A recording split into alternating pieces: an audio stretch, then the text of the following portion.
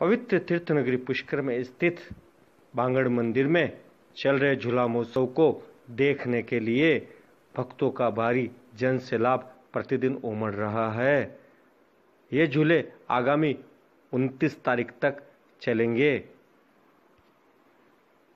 नयारंग मंदिर के व्यवस्थापक सत्यनारायण रामावत ने बताया कि 25 अगस्त को साय छः बजे से रात्रि 11 बजे तक एक विशाल भजन संध्या का कार्यक्रम रखा गया है, जिसमें ब्यावर की गायत्री जोशी एवं दिल्ली के हेमराज जोशी अपने भजनों की प्रस्तुति देंगे।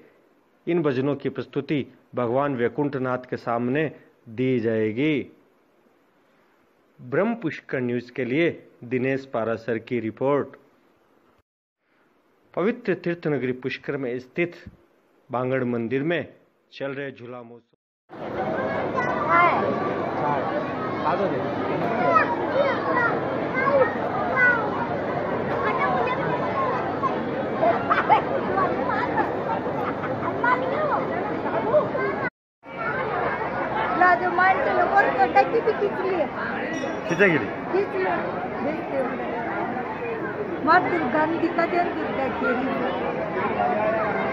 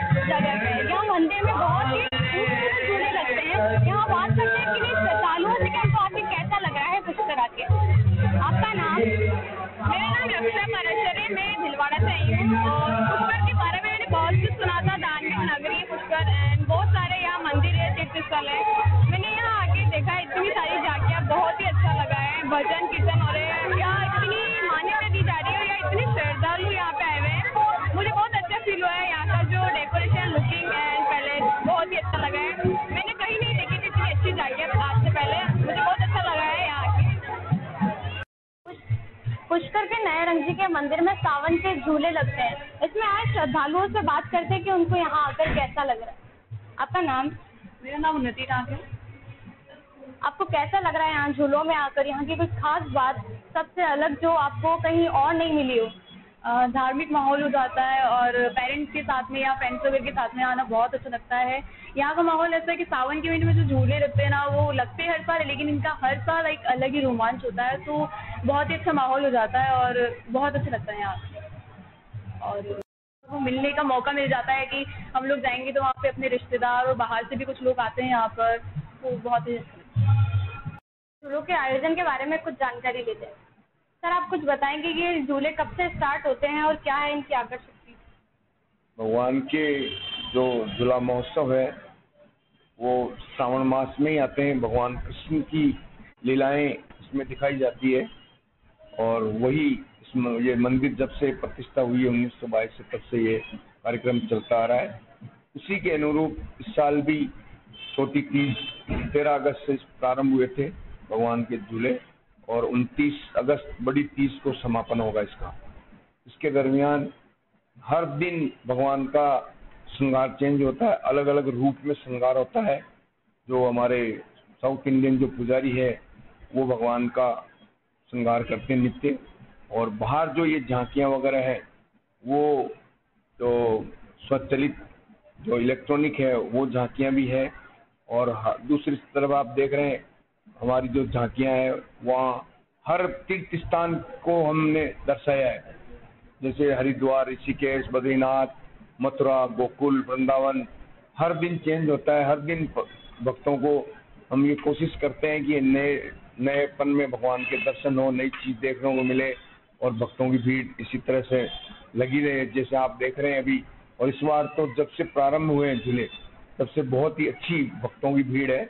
और हम ये सोचते हैं कि भाई, कुछ न कुछ एक नई चीज़ दिखावे, नई झांकी बनावे। हालाँकि कोशिश करते हैं ज़्यादा से ज़्यादा, लेकिन जितनी भी होती है, उससे पब्लिक बहुत खुश है। और हर साल भीड़ में बढ़ोतरी होती है। और पुष्कर में ये एक ऐसा मंदिर है जहाँ इतना बड़ा आयोजन झूलों का होता है। इसमें देख जो मेन झूला, झूले थे इस बार एकादशी को, इस दिन तो इतनी अपार भीड़ थी कि हम लोगों को काफ़ी अच्छी व्यवस्थाएँ करनी पड़ी और पुलिस की भी